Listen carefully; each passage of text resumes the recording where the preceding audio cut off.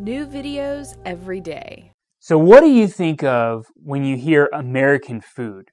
For a while, it kind of confused me. What is American food? And I thought about it, and guess what I came up with? A hot dog. Nothing says America better than a hot dog. In fact, it's so American that at 7 Eleven they sell over 100 million of them a year. So today we're obviously going to talk about the all American hot dog. But before we get into that, I want to play a little game with you. And here's the question How many calories is a hot dog? And also, more importantly, how many of those calories are from fat? So, would you guess that a hot dog is, you know, 10% fat, 40% fat, 50% fat, or higher?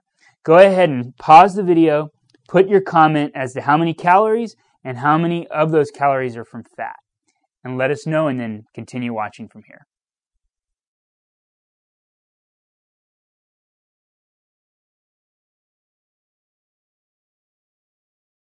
So when you normally think of the all-American hot dog, you associate it because of baseball games and barbecues where you have hot dogs. Now it's interesting to note that the names that we use to call hot dogs by, Franks, Wieners, things like that, actually originate from cities in Europe. For instance, the Frank comes from Frankenfurter, which is from a town, Frankfurt, in Germany. And also, when you think of the word Wiener, it stands for Wiener Schnitzel, which is short for Vienna sausage, which is a town, of course, Vienna. Now, the word hot dog itself, you might wonder, why do they call it a hot dog? Well, that came actually because it was rumored that it actually had dog meat in it back in the 1800s.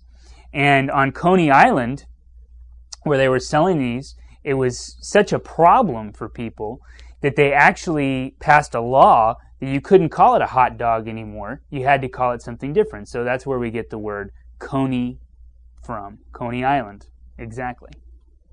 Joey Chestnut won the world record for the most hot dogs eaten 66 in 12 minutes. That's insane longest hot dog there ever was was 60 meters, which is about 200 feet long. So how do they actually make hot dogs? Well, they actually use a process called mechanically separated meat, whether it be chicken or beef, where they have a butcher that has a bone and the rest of the meat that's left on there, they put it through this machine that uses pressure to scrape off and get everything, every little last little piece off of that bone. And then it turns into a paste where they actually then squeeze it into the shell, and that's what you're eating is a hot dog, basically the leftovers. At the beginning of the video, I posed a question. How many calories are in a hot dog? And also, how many of those calories are fat? What percentage? And I have right here with me the nutrition facts for an Oscar Mayer beef frank. 130 calories, of which 110 are calories from fat which means of those 130 calories, 85% is fat. It's almost nine tenths of the hot dog being fat. So let's say you had a piece of chicken, a steak, uh, various forms of meat.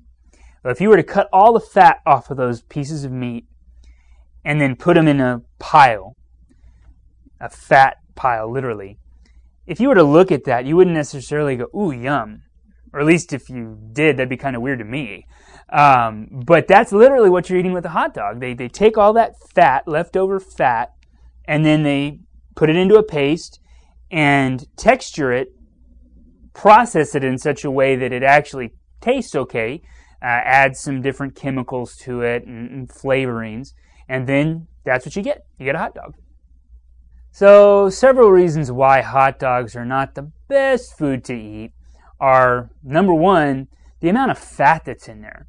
I'm a nutritionist and I don't necessarily subscribe to a low fat diet is what's good for Americans.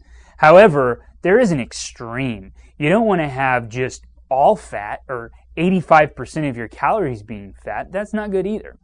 Uh, so to take it as far as extremes go, you know, unless you really need that fat, maybe you're really, really, really skinny and you're trying to gain a whole bunch of weight and you want to keep fat on, maybe you could do it that way. But in America, being that 66% of us are overweight anyway, probably not the best food for us to eat. Number two is the fact that it has a very low nutritional density. So you can imagine it's mostly fat, and because it's so processed, all those chemicals that are in there, it's just not really that good for you. Doesn't have any vitamins or minerals in there. They do add vitamin C to it, but the only reason they add vitamin C is because it has nitrates, and they've found that if you add vitamin C to a known carcinogen, it doesn't affect you quite as bad. One argument for how it could be okay would be the fact that it has protein. But considering out of 130 calories, 110 of them are fat, you get 20 calories of protein for every one hot dog. I think that there's better protein sources out there for you. On an interesting note, the fact that the meat is cured, they actually add a whole bunch of chemicals in there that basically make it so it won't degrade, which basically means that bacteria can't digest it. Well, if the organisms can't digest it, what does that mean about humans? Yes, it's hard to digest a hot dog. And then there are studies that show that cured meat actually affects the body and, in some studies show that it might affect even colon cancer. So it is not a good food for that reason. It's about as unnatural as you can get. I always like to present an alternative for people that really want or like that type of food. And the best alternative is probably getting some lean meat, chicken breast, or whatever. You can have it ground or not ground, but something that's just not as processed as a hot dog. And you can cook it on the grill and then put it on a bun, you know, if you really want to. Uh, the other thing you can do is they do make hot dogs that are, instead of being cured, they are actually just cooked. And they're generally found in the frozen food section. They have them at like Whole Foods, Central Market, places like that. Uh, and they're generally less processed. They have less chemicals and things in there. So those probably aren't as bad for you as the full on nitrate full, uh, quote, cancer causing type stuff.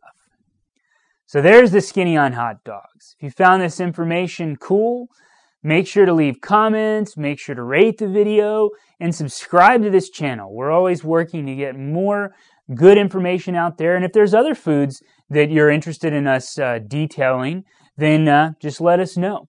And also go to my website, www.nutritionaustin.com, where you can look and find out information about what I do in my nutritional practice. Um, and I'd love to work with you if you're if you're needing somebody. If you liked this video, we have hundreds of more alternative videos ranging from sexual health to psychology to mind control. So if you liked it, go ahead and click on me to enter the Psyche Truth channel.